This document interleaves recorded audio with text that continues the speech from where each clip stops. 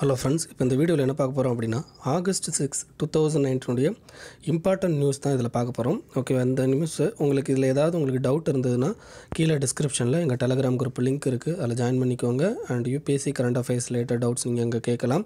And மறக்காமல் இந்த சேனலுக்கு சப்ஸ்கிரைப் பண்ணிக்கோங்க.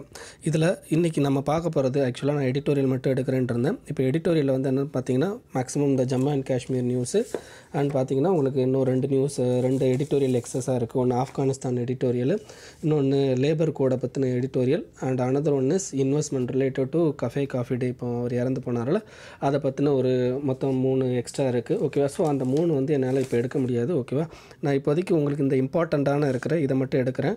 ஓகேவா இதில் இருந்து உங்களுக்கு ஏதாவது டவுட் இருந்ததுன்னா நீங்கள் வந்து அங்கே டெலகிராம் குரூப்பில் கேளுங்க. ஓகேவா இப்போ ஜம்மு அண்ட் காஷ்மீரை பொறுத்த வரைக்கும் இந்தியாவுக்கும் ஜம்மு அண்ட் காஷ்மீருக்கும் இருந்த ரிலேஷன்ஷிப் என்ன அப்படிங்கிறத நம்ம பார்க்கலாம். உங்களுக்கு தெரியும் இந்த ஸ்டோரி சொல்லியிருப்பாங்க நைன்டீன் ஃபார்ட்டி செவனில் இந்தியா வந்து சுதந்திரம் அடைஞ்ச பிறகு ஃபஸ்ட்டு ஃபஸ்ட்டு ஓகேவா நம்ம எல்லா ஸ்டேட்டையும் வந்து அதாவது என்னென்னா பிரிட்டிஷர்ஸ் என்ன பண்ணியிருந்தாங்க அப்படின்னா மொத்தம் பிரிட்டிஷர்ஸ் கீழே என்னென்ன மாதிரியான இருந்ததுன்னா பிரிட்டிஷுக்கு நேரடியாக ஆதிக்கம் பண்ண ஏரியாஸ் இருந்துச்சு ஓகேவா தட் இஸ் கால்டு ப்ராவின்சஸ் ஓகேவா அது வந்து என்னென்னா டைரெக்டாக அவங்களோட ஆட்சிக்குள்ளே இருந்துச்சு. சில இது வந்து என்னென்னா மன்னர்களோட அந்த இதுக்கு கீழே இருந்தது ஓகேவா ஸோ இப்போ என்ன பண்ணிட்டாங்க அப்படின்னா ஆஃப்டர் நைன்டீன் ஃபார்ட்டி செவன் இண்டிபெண்டன்ஸ்க்கு அப்புறமா அவங்க கொடுத்த சில விஷயங்கள் அதாவது மன்னர்களுக்கு கொடுத்த சில விஷயங்கள் என்ன அப்படின்னா நீங்கள் ஒன்று இந்தியாவோட ஜாயின் பண்ணிக்கலாம். இல்லை பாகிஸ்தானோட ஜாயின் பண்ணிக்கலாம். அல்லது நீங்கள் இண்டிபெண்ட்டாகவே இருக்கலாம் அப்படின்னு சொல்லி சொல்லியிருந்தாங்க.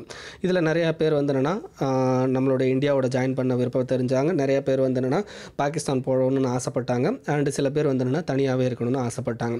இதில் முக்கியமாக தனியாக இருக்கணும்னு ஆசைப்பட்டதில் இப்போ ஹைதராபாத் அண்ட் ஜம்மு அண்ட் காஷ்மீர் அப்படிங்கிறது முக்கியமான ஸ்டேட்டு பட் ஹைதராபாத் அப்படிங்கிறது சென்டர் ஆஃப் த சிட்டியில் இருக்கிறது சென்டர் ஆஃப் த கண்ட்ரியில் இருக்கிறதுனால ஹைதராபாத்தை போலீஸ் ஆக்ஷன் மூலமாக நம்ம சர்தார் வல்லபாய் படேல் அவர்கள் வச்சுருப்பாங்க பட் அந்த ஜம்மு அண்ட் காஷ்மீரை இணைக்கிறதுக்கான முயற்சிகள் வந்து என்னென்னா அப்போ பெரிய லெவல் நடக்காது பேச்சுவார்த்தை நடக்கும் பட் அது எதுவும் நடக்காது. பட் மகாராஜா ஹரிசிங் என்ன பண்ணிடுவார் அப்படின்னா இந்த தனியாக இருக்க போகிறதா வந்து என்னென்னா அனௌன்ஸ்மெண்ட்டில் இருக்கும். ஸோ அப்புறம் வந்து என்னென்னா ட்ரைபல் இன்வேஷன் மூலமாக என்ன பண்ண ஆரம்பிப்பாங்க அப்படின்னா பாகிஸ்தான் வந்து என்ன நிறையா பார்ட்டை வந்து உள்ளே ஆக்குப்பை பண்ண ஆரம்பிப்பாங்க. நிறையா வந்து என்னென்னா இன்டர்னல் அந்த கலவரத்தெல்லாம் தூண்டி விடுவாங்க. ஸோ அதனால் வந்து என்ன நிறையா ரேப்பு அப்புறம் க்ரைம் இதெல்லாம் வந்து என்னென்னா அதிகமாக நடக்கும். ஓகேவா ஸோ இதனால் என்ன பண்ணிடுவார் மகாராஜா ஹரிசிங் என்ன பண்ணிடுவார்னா இந்தியாவோட நைன்டீன் ஃபார்ட்டி செவனில் ஒரு அக்ரிமெண்ட்டுக்கு வருவார்.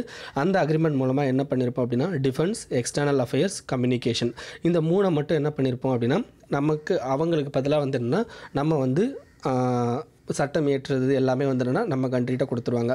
மற்ற எல்லாத்தையுமே வந்துடுன்னா அவங்களுக்கு கீழே வச்சுப்பாங்க. இது எதுக்கு கீழே வரும் அப்படின்னா ஆர்டிகல் த்ரீ செவன்ட்டிக்கு கீழே வரும் ஓகேவா அப்போ ஆர்டிகல் த்ரீ செவன்ட்டினா என்ன அப்படிங்கிறதையும் நான் உங்களுக்கு எக்ஸ்பிளைன் பண்ணுறேன் ஓகேவா அப்போ இதில் இப்போ இந்தியாவுக்கும் ஜம்மு அண்ட் காஷ்மீருக்கும் அந்த அக்ரிமெண்ட்டுக்கு அப்புறமா எந்த விதமான எந்த மாதிரியான ரிலேஷன்ஷிப் இருந்தது அப்படின்னா இந்தியாவிலேருந்து அதாவது இந்தியன் கான்ஸ்டியூஷன்லேருந்து ஃபஸ்ட்டு ஆர்டிக்கல் ஒன்று அண்ட் ஆர்டிக்கல் த்ரீ செவன்ட்டி இந்த ரெண்டு ஆர்டிக்கல் மட்டும்தான் அங்கே செல்லுபடி ஆகும். வேறு எந்த ஆர்டிக்கலும் அங்கே செல்லுபடி ஆகாது. ஓகே அப்போ வாட் இஸ் ஒன் ஆர்டிக்கல் அப்படிங்கிறது? ஆர்டிக்கல் ஒனில் union of union of state அப்புறம் யூனியன் டெரிட்டரிஸ் அப்படின்னு சொல்லிட்டு உங்களுக்கு இருக்கும். ஓகேவா நம்மளுடைய ஸ்டேட் அண்ட் யூனியன் டெரிட்டரியை அப்ரூவ் பண்ணுற ஒரு இதுதான் ஆர்டிக்கல் ஒன் அப்படின்னு சொல்லி சொல்லுவோம். அந்த ஆர்டிக்கல் ஒன்று கீழே ஜம்மு அண்ட் காஷ்மீர் அப்படிங்கிறது கொண்டு வந்திருந்தாங்க. ஓகேவா அப்புறம் ஆர்டிகல் த்ரீ செவன்ட்டி அப்படின்னா என்னென்னா ஸ்பெஷல் ஸ்டேட்டஸ் அப்படிங்கிறது. அதாவது நம்மளுடைய கண்ட்ரியில் வந்துன்னா ஒவ்வொரு ஒவ்வொரு சில ஸ்டேட்டுகளுக்கு வந்துன்னா ஸ்பெஷல் ஸ்டேட்டஸ் கொடுத்துருக்கும். அந்த ஸ்பெஷல் ஸ்டேட்லாம் எதை பொறுத்தது அப்படின்னா அவங்களுடைய ட்ரைபல் அண்ட் டெரிட்டோரியல் அந்த அதை டெரைனை பொறுத்தது அப்படின்னு சொல்லிட்டு நம்ம கொடுத்துருப்போம். பட் இங்கே ஜம்மு அண்ட் காஷ்மீருக்கு ஸ்பெஷல் ஸ்டேட்டஸ் அப்படிங்கிறது அவங்க வந்து என்னென்னா நம்மளுடைய கண்ட்ரியில் ஒரு ஸ்டேட் பட் என்னென்னா இருந்தாலும் அவங்களுக்கு மோர் பவர் ஓகே அட்டானமி வந்து என்ன மோர் அட்டானமி நம்ம அவங்களுக்கு கொடுத்துருப்போம். மற்ற ஸ்டேட்லாம் வந்து என்னென்னா நம்மளுடைய கான்ஸ்டியூஷன் ஃபாலோ பண்ணால் அவங்களுக்குன்னு தனி கான்ஸ்டியூஷன் அப்படிங்கிறத ஃபாலோ பண்ணியிருப்பாங்க ஓகேவா so article under article three seventy படி என்ன பண்ணியிருப்போம் அப்படின்னா டோட்டலாக ஓகேவா அவங்களுக்கான எல்லா விதமான அந்த அட்டானமியும் நம்ம கொடுத்துருப்போம். சில மேட்டர்ஸை மட்டும் என்னென்னா நம்ம கையில் வச்சுருப்போம். அந்த சில மேட்டரில் முக்கியமான மேட்டர் தான் defence external affairs and communication அப்போ இதை தவிர வேறு எப்படி வந்து அவங்களோட தொடர்பு கொள்ள முடியும் அப்படின்னா இது எப்படி இருந்தது அப்படின்னா இப்போ இந்தியன் கான்ஸ்டியூஷனில் ஏதாவது வந்து ஒரு சேஞ்சஸ் கொண்டு வரோம் அப்படின்னா அது அவங்களுக்கு பொருந்துமா அப்படின்னா அது அவங்களுக்கு பொருந்தாது. Because they have a separate constitution ஓகேவா அதே மாதிரி இந்தியாவில் வந்து ஒரு ஆக்ட் கொண்டு வரோம் அப்படின்னா அந்த ஆக்ட் வந்து அவங்களுக்கு டைரெக்டாக பொருந்துமானா அவங்களுக்கு டைரெக்டாக எப்போவுமே பொருந்தாது.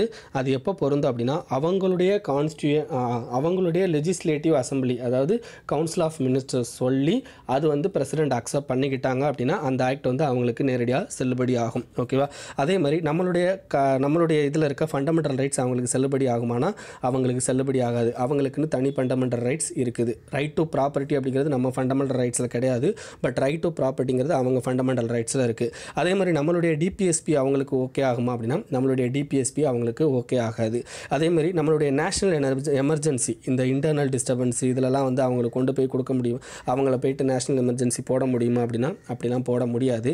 அதே மாதிரி ஃபினான்ஷியல் எமர்ஜென்சி அப்படிங்கிறது அவங்களுக்கு அப்ளிகபிள் ஆகாது. ஓகேவா நெக்ஸ்ட்டு இப்போ இன்டர்நேஷ்னல் ட்ரீட்டி வந்து ஏதாவது நம்ம வந்து சைன் போடுறோம் அப்படின்னா அது அது அவங்க கண் அவங்களோட ஸ்டேட்டை வந்து மிகப்பெரிய லெவலில் பாதிக்குது அப்படின்னா அந்த பாதிப்பை வந்து என்னென்னா அவங்க ஸ்டேட் அசம்பிளியோட அப்ரூவலோட தான் நம்ம வந்து என்னென்னா பங்கு பண்ண முடியும் அப்படிங்கிற மாதிரியான விஷயங்கள்லாம் இருந்தது.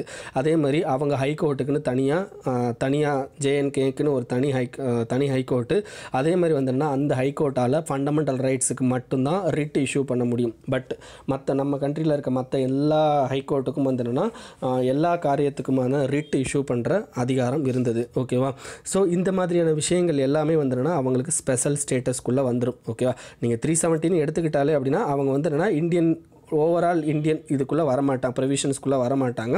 அவங்க வந்து என்னென்னா சம் செட் ஆஃப் இதுக்கு மட்டும்தான் வந்து என்னென்னா அவங்களுக்கு பொருந்தும் அப்படிங்கிற மாதிரி தான் இருந்தாங்க ஓகேவா ஸோ இதில் வந்து எப்படி இப்போ ஏதாவது ஒரு சேஞ்சஸ் கொண்டு வரணும். நான் ஆல்ரெடி உங்களுக்கு சொன்னேன் த்ரீ செவன்ட்டி படி நமக்கு வந்து என்னென்னா யார் வந்து என்ன பண்ணணும் அப்படின்னா இப்போ நம்மளுடைய கான்ஸ்டியூஷனில் இருக்க ஏதாவது ஒரு ப்ரொவிஷன் அவங்களுக்கு செல்லுபடி ஆகணும் அப்படின்னு சொல்லி சொல்லணும்னா அப்படின்னா எப்படி சொல்லணும் முடியும் அப்படின்னா அங்கே இருக்கிற ஸ்டேட் அசம்பிளி ஒத்துக்கிட்டு அதுக்கு பிரசிடெண்ட் வந்து ஓகே சொல்லணும். அப்படி சொன்னால் மட்டும்தான் அந்த ஆக்டோ அந்த லைக் ஆர்டிகளோ வந்து என்னென்னா அவங்களுக்கு செல்லுபடி ஆகும். ஓகேவா இப்போ கரண்டில் கவர்மெண்ட் என்ன பண்ணியிருக்காங்க அது எது மூலமாக வந்துன்னா இந்த சேஞ்சஸ்லாம் கொண்டு வந்திருக்காங்க? ஆர்டிகல் த்ரீ செவன்ட்டியை எப்படி எலிமினேட் டெலிட் பண்ணாங்க. ஆர்டிகல் தேர்ட்டி ஃபைவ் வேவை எப்படி டெலிட் பண்ணாங்க அப்படிங்கிறதெல்லாம் நம்ம டைரெக்டாக பார்க்கலாம். இப்போ ஆர்டிகல் நம்ம இந்தியன் கான்ஸ்டியூஷனில் ஆர்டிகல் த்ரீ சிக்ஸ்டி செவன் அப்படின்னு ஒரு ஆர்டிகல் இருக்குது ஓகேவா அந்த article three sixty seven of three அப்படின்னு சொல்லிட்டு ஒரு ப்ரொவிஷன் இருக்குது அந்த ப்ரொவிஷன்ஸ் கால்டு இன்டர்பிரட்டேஷன் ஓகேவா நம்மளுடைய கான்ஸ்டியூஷனில் இருக்க ஏதாவது ஒரு வார்த்தையை நம்ம எப்படினாலும் அதாவது நம்மளுடைய இதுக்காண்டி இன்டர்பிரேட் பண்ணுறதுக்காண்டி கொடுத்த ஒரு இதுதான் மிசலனியஸ் ஆர்டிக்கல் அப்படின்னு சொல்லி சொல்லுவாங்க. சில ஆர்டிக்கல் நம்ம இதெல்லாம் மிசலனியஸ் ஆர்டிக்கல்னு சொல்லுவாங்க. அந்த ஆர்டிக்கல் தான் ஆர்டிக்கல் த்ரீ சிக்ஸ்டி செவன் அப்படிங்கிற ஆர்டிக்கல் ஓகேவா இந்த ஆர்டிக்கல் த்ரீ சிக்ஸ்டி செவனில் மூலமாக என்ன பண்ணிட்டாங்க அப்படின்னா ஒரு சேஞ்சஸ் கொண்டு வந்தாங்க. அது எந்த இதில் சேஞ்சஸ் கொண்டு வந்தாங்கன்னா ஆர்டிகல் த்ரீ செவன்ட்டியில் ஒரு சேஞ்சஸ் கொண்டு வந்தாங்க. ஆர்டிகல் த்ரீ செவன்ட்டியில் என்ன இருக்குது அப்படின்னா article three seventy of three அப்படின்னு சொல்லிட்டு ஒரு ஆர்டிக் ஆர்டிக்கலில் உள்ள சப் கிளாஸ் இருக்குது அந்த சப் கிளாஸில் என்ன சொல்லியிருப்பாங்க அப்படின்னா நீங்கள் ஏதாவது ஒரு சேஞ்சஸ் கொண்டு வரணும் அப்படின்னா இப்போ ஆர்டிக்கல் த்ரீ செவன்ட்டியை நீங்கள் ஸ்க்ராப் பண்ணணும் ஓகேவா ஆர்டிக்கல் த்ரீ செவன்ட்டியை நீங்கள் டெலிட் பண்ணணும் அப்படின்னா என்ன பண்ணணும் அப்படின்னா நீங்கள் வந்து என்னென்னா ஜேஎன்கேயில் இருக்க கான்ஸ்டியூண்ட் அசம்பிளி அப்படின்னு ஒன்று இருக்குது ஓகேவா அதாவது ஃபஸ்ட்டு ஃபஸ்ட்டு அவங்களுடைய கான்ஸ்டியூஷனை க்ரியேட் பண்ணுறதுக்கு ஒரு அசம்பிளி க்ரியேட் பண்ணியிருப்பாங்க ஓகேவா அந்த கான்ஸ்டியூண்ட் அசம்பிளி ஓகேவா அவங்க பர்மிஷன் கொடுக்கணும். அப்படி கொடுத்து பிரசிடெண்ட் ஓகே சொன்னார்னா நீங்கள் த்ரீ செவன்ட்டியை ஸ்க்ராப் பண்ணலாம் அப்படிங்கிறது தான் அந்த த்ரீ செவன்ட்டி ஆஃப் த்ரீயில் அந்த ப்ரொவிஷன்ஸில் இருக்கக்கூடியது ஓகேவா இப்போ இப்போ நம்ம கான்ஸ்டியூண்ட் அசம்பிளினா நமக்கு தெரியும். இந்தியாவோட கான்ஸ்டியூஷனை கிரியேட் பண்ணும்போது ஒரு கான்ஸ்டியூண்ட் அசம்பிளின்னு கிரியேட் பண்ணாங்க.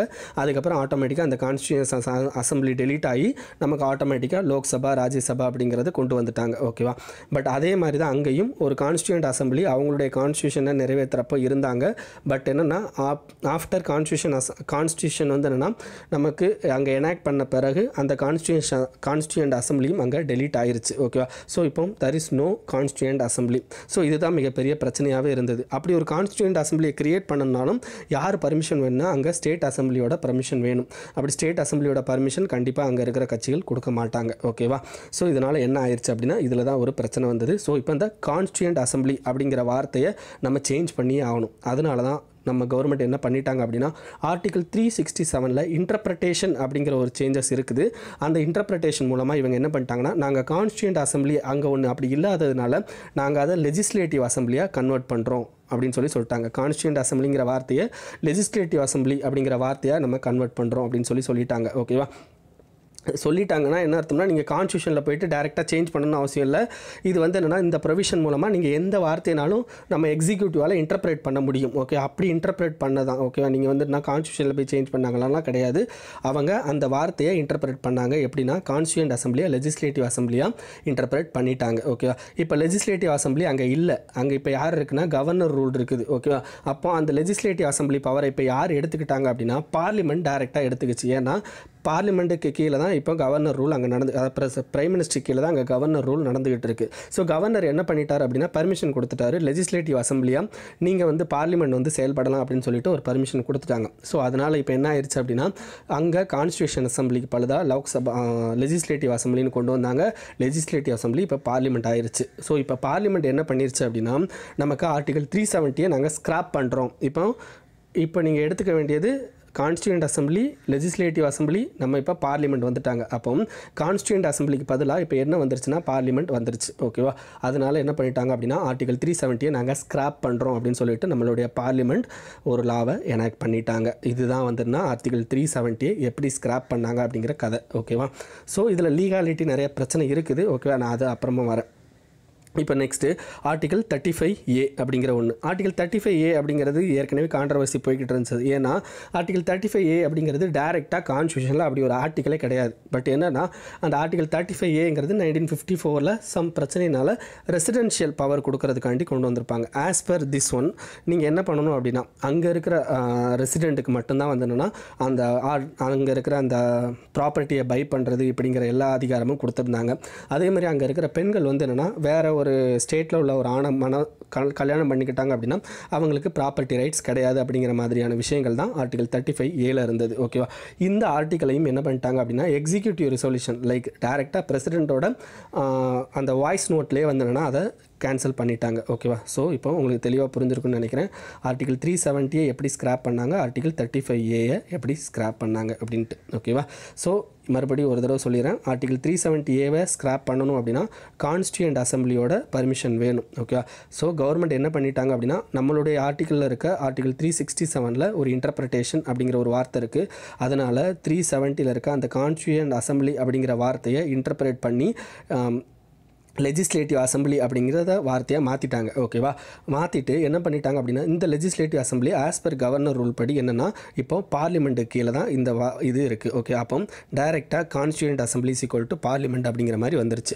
இப்போ பார்லிமெண்ட் என்ன பண்ணிருச்சுன்னா பவர் கொடுத்துருச்சு. என்ன பார்லிமெண்ட் பவர் கொடுத்துருக்கு அப்படின்னா ஆர்டிகல் த்ரீ செவன்ட்டியை பிரசிடென்ட் வந்து ஸ்க்ராப் பண்ணலாம் அப்படின்னு சொல்லிட்டு பவர் கொடுத்துட்டாங்க. அப்போ என்ன ஆயிடுச்சுன்னா ஆட்டோமேட்டிக்காக பிரசிடென்ட் டைரெக்டாக வந்து என்ன பண்ணிட்டாரு? ஆர்டிகல் த்ரீ செவன்ட்டியை ஸ்க்ராப் பண்ணிட்டார். ஓகேவா இதுதான் வந்து அந்த கதை. ஸோ ஆர்டிகல் தேர்ட்டி ஃபைவ் ஏங்கிறது டேரெக்டாக பிரசிடென்ட் கீழேயே போகிறதுனால பிரசிடெண்ட்டே டேரெக்டாக வந்துடுனா அதை கேன்சல் பண்ணிட்டார். ஓகேவா ஸோ இதுதான் ஓவரால் இந்த கதை நடந்தது. ஓகே இப்போ என்னென்னா இதில் ரெண்டு பிரச்சனை வந்திருக்குது. ஒரு ரெண்டு பிரிவாக பிரிச்சிருக்காங்க. ஒன்று ஜம்மு அண்ட் காஷ்மீர் பிரிவு இன்னொன்று லடாக் லே பிரிவு ஓகேவா இந்த ஜம்மு அண்ட் காஷ்மீரை என்ன பண்ணிட்டாங்க அப்படின்னா ரெண்டையுமே யூனியன் டெரிட்டரியாக அனௌன்ஸ் பண்ணிட்டாங்க. ஓகேவா ஸோ இப்போ யூனியன் டெரிட்டரியாக அனௌன்ஸ் பண்ணதில் இந்த யூனியன் டெரிட்டரி லைக் பாண்டிச்சேரி மாதிரி செயல்படும். பாண்டிச்சேரியில் எப்படி உங்களுக்கு லெஜிஸ்லேட்டிவ் அசம்பிளி இருக்கோ அது மாதிரி இந்த ஜம்மு அண்ட் காஷ்மீருக்கு லெஜிஸ்லேட்டிவ் அசம்பிளி அப்படின்னு சொல்லிட்டு ஒன்று இருக்கும். அதே மாதிரி யூனியன் டெரிட்டரி ஆஃப் லடாக் அப்படிங்கிறதுக்கு எந்தவித லெஜிஸ்லேட்டிவ் அசம்பிளி கிடையாது. லைக் அவங்க வந்து யார்? அந்தமான் நிக்கோப்பார் அப்படிங்கிறவங்களாம் இருக்காங்களா அது மாதிரி செயல்படுவாங்க. ஓகேவா ஸோ இதுதான் வந்து என்னன்னா இவங்க கொடுத்துருக்குற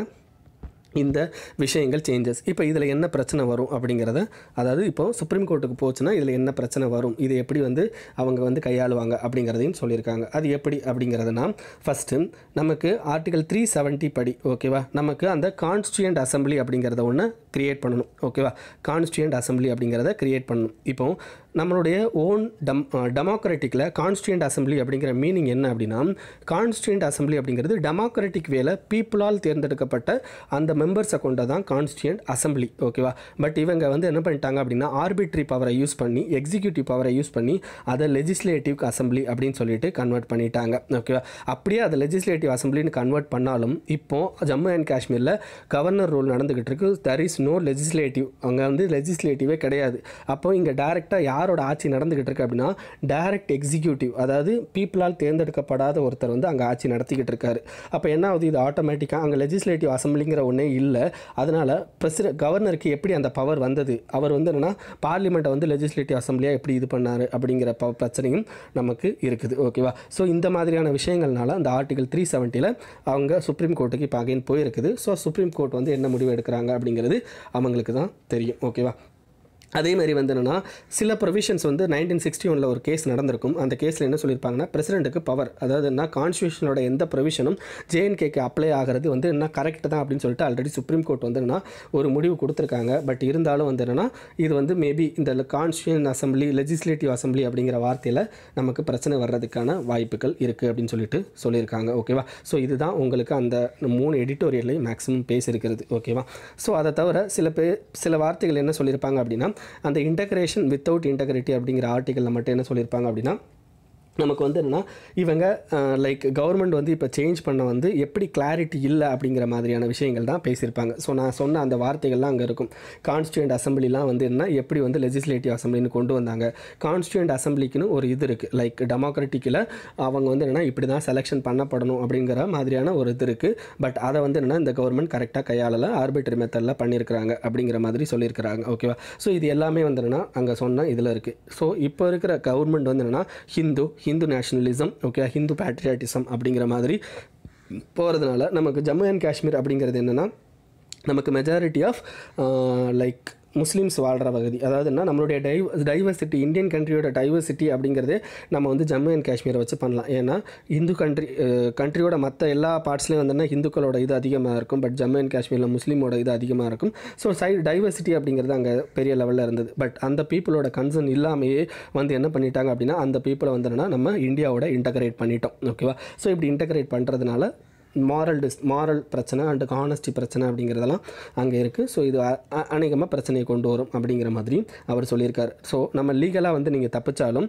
நம்ம இன்ஃபார்மலாக பீப்புளோட அஜிடேஷன்லேருந்து தப்பிக்கிறது கொஞ்சம் கஷ்டம் அப்படிங்கிற மாதிரியான அந்த ஆர்டிக்கல் தான் அங்கே சொல்லியிருப்பாங்க. ஸோ ஐ திங்க் உங்களுக்கு article three seventy and thirty five ஏவை எப்படி ஸ்க்ராப் பண்ணாங்க? த்ரீ செவன்ட்டி எப்படி போச்சு? த்ரீ செவன்ட்டியில் இருக்க அந்த சில ப்ரொவிஷன்ஸ் அப்படிங்கிறதையும் சொன்னேன். ஸோ ஆர்டிகல் தேர்ட்டி ஃபைவ் ஏங்கிறது அப்படிங்கிறது ரெசிடென்ஷியல் பவர் அங்கே அவங்களுடைய ரெசிடென்ட்க்கு மட்டும்தான் சில பவர் கொடுத்துருந்தாங்க. ஓகேவா அந்த ஓட்டிங் ரைட்ஸ் மற்ற எல்லாமே வந்துன்னா அவங்களுடைய ரெசிடென்ட்ஸ்க்கு மட்டும்தான் இருக்கும். மற்ற யாருக்கும் கிடையாது. ஓகேவா அந்த மாதிரியான இதெல்லாம் இருந்தது. அதே மாதிரி நீங்கள் இங்கேருந்து அங்கே போயிட்டு ஒரு ப்ராப்பர்ட்டியை வந்து பை பண்ண முடியாது. அப்படி பை பண்ணால் நீங்கள் பத்து வருஷம் இருக்கணும் அப்படிங்கிற மாதிரிலாம் இருக்குது அதே மாதிரி வந்துன்னா இந்தியாவில் இருக்க போனால் அங்கே சிட்டிசன்ஸ் போனால் நீங்கள் வந்து பெர்மனன்ட் ரெசிடென்ட் அப்படிங்கிற கதையில் தான் இருப்பீங்களே தவிர காஷ்மீரோட அந்த ரெசிடென்ட் அப்படிங்கிற கதைக்கு போக மாட்டீங்க ஓகேவா ஸோ இந்த மாதிரியான விஷயங்கள்லாம் இருந்தது. இப்போ இது எல்லாமே வந்து இதாகிட்டு நார்மலாக இந்தியாவோட ஸ்டேட் எப்படி இருக்கோ அது மாதிரி தான் அவங்களும் இருக்க முடியும். அவங்களுக்குன்னு எந்த ப்ரொவிஷனும் எக்ஸ்ட்ரா கிடையாது ஓகேவா இனிமேல் வந்துடுனா under central government direct control okay ஏன்னா அதை யூனியன் டெரிட்டரி அப்படின்னு சொல்லி சொல்லிட்டாங்க. ஸோ அதனால் சென்ட்ரல் கவர்மெண்ட்டோட டைரக்ட் கண்ட்ரோலுக்கு போயிடும் அப்படி டைரக்ட் கண்ட்ரோலில் போயிட்டதுனால போயிட்டா நம்மளுடைய பாண்டிச்சேரி நம்மளுடைய அந்தமான் நிக்கோபார் எப்படி இருக்குதோ இனிமேல் அவங்களும் அப்படி தான் இருக்க வேண்டியது இருக்கும். ஓகேவா ஸோ இன்றைக்கி இந்த இதோட இது புரிஞ்சிருக்கும்னு நினைக்கிறேன். இதில் ஏதாவது உங்களுக்கு டவுட் இருந்ததுன்னா நீங்கள் வந்து டெலகிராம் குரூப்பில் கேளுங்க. ஓகேவா அண்ட் தேங்க்யூ ஃப்ரெண்ட்ஸ்